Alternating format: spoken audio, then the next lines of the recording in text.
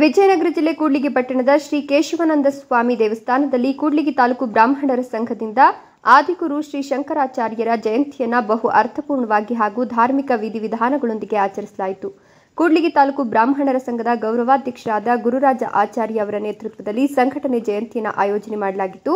ಪಟ್ಟಣ ಸೇರಿದಂತೆ ತಾಲೂಕಿನೆಲ್ಲೆಡೆಗಳಿಂದ ನೂರಾರು ಬ್ರಾಹ್ಮಣರು ಆಗಮಿಸಿ ಜಯಂತಿಯಲ್ಲಿ ಸಕ್ರಿಯವಾಗಿ ಪಾಲ್ಗೊಂಡಿದ್ದರು ಕೂಡ್ಲಿಗಿ ತಾಲೂಕು ಬ್ರಾಹ್ಮಣರ ಸಂಘದ ಅಧ್ಯಕ್ಷರಾದ ಜಿಕೆ ಮುರಳೀಧರ, ಉಪಾಧ್ಯಕ್ಷರಾದ ಶ್ರೀಮತಿ ಸಾವಿತ್ರಿಬಾಯಿ, ಕಾರ್ಯದರ್ಶಿ ವಿರೂಪಾಕ್ಷಮೂರ್ತಿ ಸಹ ಕಾರ್ಯದರ್ಶಿ ಚಂದ್ರಶೇಖರ, ಖಜಾಂಚಿ ಸಂದೀಪ ರಾಯಜಂ, ನಿರ್ದೇಶಕರಾದ ಎಂ ನಾಗರಾಜ್ ಭಟ್ ಹಯವದನಾಚಾರ್ಯ ಐ ಅಶೋಕ್ ಬಾಬುರಾವ್ ಸೇರಿದಂತೆ ಸಂಘದ ಪದಾಧಿಕಾರಿಗಳು, ಸಂಘದ ಸರ್ವ ಸದಸ್ಯರು ಮತ್ತು ಬ್ರಾಹ್ಮಣ ಸಮಾಜದ ಪ್ರಮುಖರು, ವಿವಿಧ ದೇವಸ್ಥಾನಗಳ ಅರ್ಚಕರು, ಪುರೋಹಿತರು ಹಾಗೂ ಬ್ರಾಹ್ಮಣರು, ಸಮಾಜದ ಮಹಿಳೆಯರು, ಮಕ್ಕಳು ವೃದ್ಧರಾದಿಯಾಗಿ ಸರ್ವರು ಜಯಂತಿಯಲ್ಲಿ ಭಾಗವಹಿಸಿ ಯಶಸ್ವಿಗೊಳಿಸಿದರು.